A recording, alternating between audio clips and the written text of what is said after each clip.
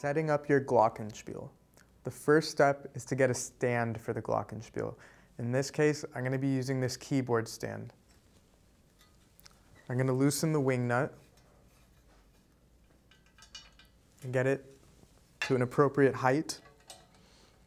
Once it's there, I'm going to tighten the wing nut.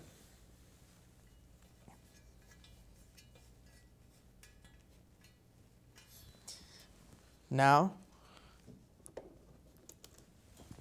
I'm going to put the Glockenspiel on the stand.